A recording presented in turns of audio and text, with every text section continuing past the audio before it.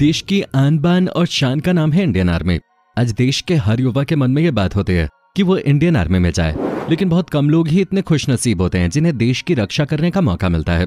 दोस्तों, ये बात सबको पता है कि इंडियन आर्मी में कोई जॉब करने नहीं जाता। यहाँ तो सब अपने देश के प्रति प्यार दर्शाने जाते हैं। और यही चीज़ है कि हमारे सभी पड़ोसी देश हमसे डरते हैं, क्योंकि हमारी सेना किसी से भी लोहा लेने के लिए हमेशा तैयार रहती है।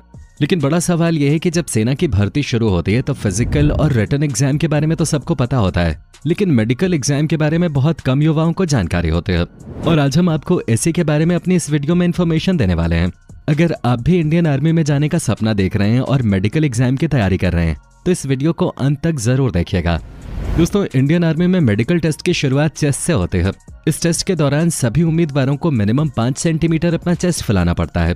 सभी उम्मीदवार नॉर्मल अंदर की ओर खींचकर अपनी चेस्ट को फैलाते हैं और जो उम्मीदवार ये करने में सफल हो जाता है, उसका चेस्ट मेडिकल टेस्ट हो जाता है। दोस्तों चेस्ट टेस्ट में किसी भी प्रकार से घबराने की ज़रूरत नहीं है। अपना नॉर्मल शरीर रखकर आप आसानी से पाँच सेंटीमीटर अपना सीना फुला सकते हैं और आप इस टेस्ट में आसानी से पास हो जाएँगे। अगर आप घबराते हैं तो आपको सबसे बड़ी प्रॉब्लम ये होगी कि आप अपना चेस्ट नहीं फुला पाओगे, क्योंकि सही तरीके से अपने अंदर सांस नहीं खींच पाओगे। इसलिए आपको अपना शरीर नॉर्मल रखना है। वेट टेस्ट इंडियन आर्मी की इस भर्ती में जो भी उम्मीदवार दौड़ के दौरान पास हो जाते हैं, उसके बाद उनका मेडिकल टेस्ट होता है। वेट टेस्ट में सभी उम्मीदवारों का नॉर्मल वेट 50 किलो होना चाहिए। इससे कम वज़न होने पर उस उम्मीदवार को भर्ती से निकाल दिया जाएगा। इसके अलावा सबसे बड़ी जानकारी ये होनी चाहिए कि आपकी जितनी लंबाई होगी, उसके अनुसार आपके शरीर का वज़न होना चाहिए। सबसे बड़ी सावधानी ये है इसमें कि आपको अपना शरीर स्वस्थ रखने की बहुत आवश्यकता है। एक स्वस्थ शरीर में ही सही वेट होता है। Body marks test. Body marks test के दौरान आपके शरीर में वो निशान देखे जाते हैं, जो कि आपने बनवाए हैं या फिर नेचुरली बन गए हैं। अर्थात आपके शरीर में हाथों में कहीं पर टैटू तो नहीं है, या किसी प्रकार का कोई कट का निशान तो नहीं है। अगर इस प्रकार से आपके शरीर में किसी भी प्रकार का कोई भी बॉडी मार्क्स पाया जाता है तो इस मार्क्स की अच्छी तरह से जाँच होते हैं। और अगर आपके निशान शरीर पर गलत जगहों पर हुए, या फिर आपके शरीर पर किसी भी प्रकार का गलत निशान हुआ तो आपको भर्ती से बाहर भी किया जा सकता है। किसी चोट का निशान होने पे इतनी प्रॉब्लम नहीं आती, जितनी कि किसी टैटू के निशान पे आते हैं। आपके शरीर पे नेचुरल कोई भी बॉडी मार्क्स हैं तो उससे कोई भी प्रॉब्लम नहीं आएगी, जैसे शरीर पे मस्से का होना, शरीर पर तिल का होना। नौकनी टेस्ट दोस्तों, नौकनी टेस्ट में सभी उम्मीदवारों को सावधान पोजीशन में खड़ा किया जाता है, और इस टेस्ट के दौरान आपके पैरों से लेकर घुटने तक आपके पैरों को अच्छी तरह से देखा जाता है। नौकनी टेस्ट में आपके घुटने मिल तो नहीं रहे, इसे देखा जाता है। इस टेस्ट के दौरान अगर आपके घुटने आपस में मिल रहे होते हैं तो आपको इस भर्ती से बाहर निकाल दिया जा सकता है, या फिर आपके घुटनों के बीच में बहुत अधिक स्पेस है तो भी आपको समय दिया जा सकता है। नौकनी की बहुत तरह की एक्सरसाइज होती है, जिनसे आप अपने पैरों को नॉर्मल कर सकते हैं। अगर आपको उन एक्सरसाइजेस के बारे में जानना हो तो हमें कमेंट बॉक्स में ज़रूर बताइए। Legs veins test legs veins test के दौरान आपके पैरों की नसों का टेस्ट होता है। इस टेस्ट में आपके पैर के जस्ट बैक साइड में और पैर के लेफ़्ट साइड में जो नसें होती हैं, उनका टेस्ट होता है। कहीं आपकी नसें फूल तो नहीं रही, या फिर कोई अन्य प्रॉब्लम तो नहीं है? इस अवस्था में जितना अधिक आप अंदर से घबराएँगे, उतनी ही अधिक आपको प्रॉब्लम हो सकती है। इसलिए आपको अपना शरीर मेडिकल टेस्ट के दौरान नॉर्मल रखना है। Flat foot test flat foot test में आपके पैरों के तलवों के नीचे जगह होनी चाहिए। कई बार आपने देखा होगा कि हमारे तलवे के नीचे जगह होती है। हम किसी भी समतल जगह पर अपना पैर रखते हैं तो आप आसानी से अपने पैरों को देख सकते हैं। अगर आपके तलवे के नीचे जगह नहीं है, एकदम समतल जगह पर सपाट तलवे हैं तो आपको प्रॉब्लम हो सकती है। अगर आपके पैरों के तलवे के नीचे बहुत अधिक जगह है तो भी आपको प्रॉब्लम हो सकती है। आपके पैर के तलवे नॉर्मल होने चाहिए, जैसे कि किसी नॉर्मल व्यक्ति के होते हैं। फ्लैट फुट टेस्ट में यही चेक किया जाता है कि आपके पैर के तलवे नॉर्मल हैं, या फिर उनमें किसी प्रकार की कोई प्रॉब्लम है।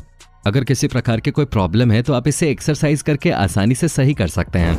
फीट फिंगर्स टेस्ट दोस्तों फीट फिंगर्स टेस्ट के दौरान आपके पैरों की उंगलियों की जाँच की जाती है। इस टेस्ट में आपकी उंगलियों का साइज़ देखा जाता है। और उनकी आकृति और लंबाई भी देखे जाते हैं। जिस प्रकार से आपके पैर की उंगलियाँ कहीं अधिक लंबी तो नहीं है, या फिर किसी उंगली की कम लंबाई और किसी की बहुत अधिक लंबाई है तो प्रॉब्लम हो सकती है। अगर आपकी उंगलियाँ अधिक कटी हुई हैं, या फिर उनमें कुछ अलग बीमारी है तो भी आपको प्रॉब्लम हो सकते हैं। आपकी उंगलियों का गैप और उनकी लंबाई अगर नॉर्मल है तो आपको किसी भी प्रकार की कोई प्रॉब्लम नहीं आएगी। Ice test. आइस टेस्ट सभी उम्मीदवारों का तीन स्टेज में होता है। First eye test. इस टेस्ट में आपकी आँखों के सामने एक पेंसिल को घुमाया जाता है और जिस तरह वो पेंसिल घुमाई जाती है, उसी तरफ़ आपकी आँखों का जो काला भाग होता है, उसे पेंसिल की तरफ़ घूमना पड़ता है। ध्यान रखने वाली बात यह है कि इसमें आपको अपनी गर्दन नहीं घुमानी है। उस पेंसिल को जो जाँच करता होता है, वो लेफ़्ट राइट ऊपर नीचे इस प्रकार से घुमाते हैं।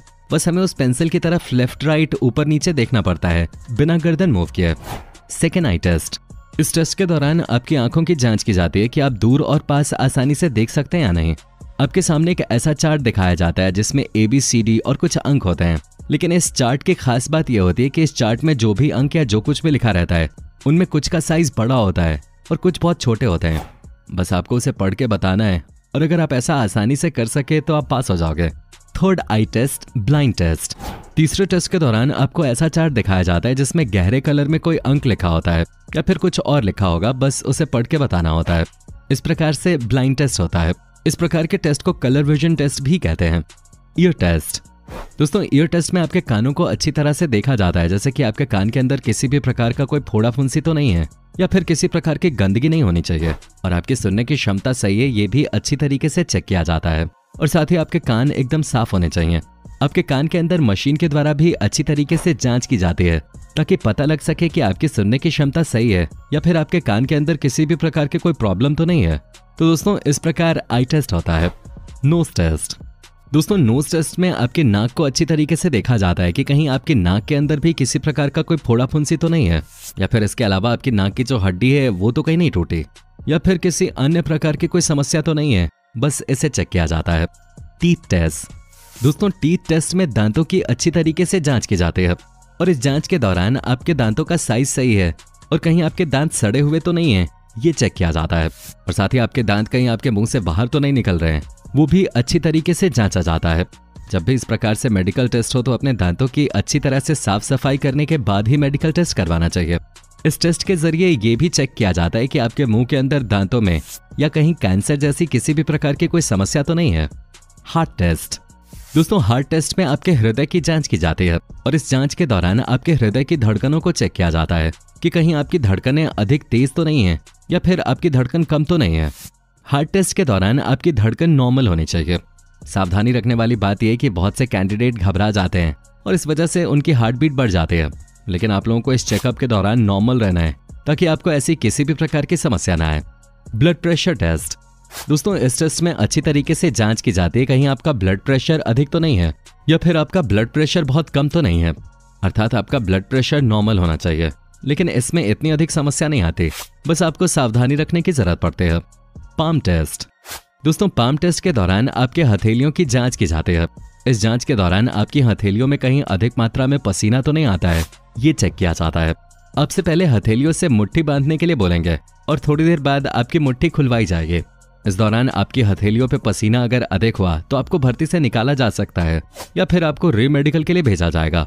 टेस्टिकल्स टेस्ट दोस्तों टेस्टिकल्स टेस्ट में अंडकोश का चेकअप किया जाता है। इस जाँच के दौरान उम्मीदवार के अंडकोश को अच्छी तरीके से जांचा जाता है कि कहीं उनका साइज़ अधिक तो नहीं है, या फिर कम ज़्यादा तो नहीं है। इस जाँच के दौरान ये भी जांचा जाता है कि आप किसी बड़ी समस्या के शिकार तो नहीं हुए हैं, या फिर आपके गुप्तांग में कोई प्रॉब्लम तो नहीं है। इस जाँच के दौरान ये देखा जाता है कि कोई एक अंडकोश आपका बड़ा तो नहीं या छोटा तो नहीं। और दोस्तों, इस प्रकार ये जाँच की जाती है। तो दोस्तों, आज के वीडियो में बस इतना ही। आपको ये वीडियो कैसी लगी कमेंट करके ज़रूर बताएँ। और साथ ही चैनल को सब्सक्राइब कर बेलाइकन दबाना बिल्कुल ना भूलें।